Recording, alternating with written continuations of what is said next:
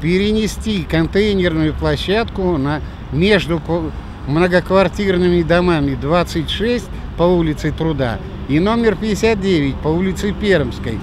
Но слова остаются только на бумаге. Жители по улице Труда почти полгода не могут добиться порядка в собственном дворе. Раньше мусорные контейнеры располагались около детской площадки и были огорожены забором. Но во время ремонта дорог во дворе ограждение пришлось снести, а затем и вовсе баки перенесли на дорогу. Асфальт подрядчики давно закатали, однако переносить баки в установленное по плану место никто не собирается. Ветер все это разносит по всему нашему двору.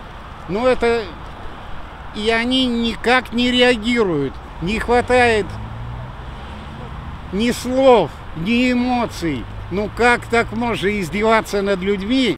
Южноуральцы уверены, такое расположение противоречит всем санитарным нормам. По закону мусорные контейнеры должны располагаться в соседнем дворе. Там для них отведено специальное место. Вот по плану, как положено, куда размещена была эта мусорка, там она должна быть.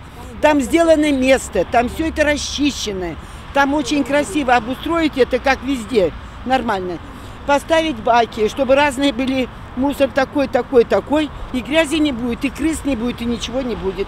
Чтобы исправить ситуацию, жители уже неоднократно обращались к региональному оператору, который отвечает за вывоз мусора. Вот только в ведомстве уверяют, полномочий переносить баки с места у них нет. Спрашивать нужно с управляющей компанией, которая работает на доме. Однако коммунальщики общаться с журналистами не хотят. Когда наша съемочная группа обратилась за разъяснениями в ЖЭК, двери тут же заперли. Ну кто, уборщицу позвать?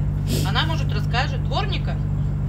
Ну, вообще никого нету из администрации Нету сейчас. никого.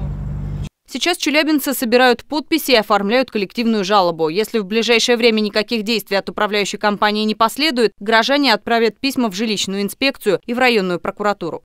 Ольга Кокшарова, Юлия Сафронова, Кирилл Руднев, 31 канал.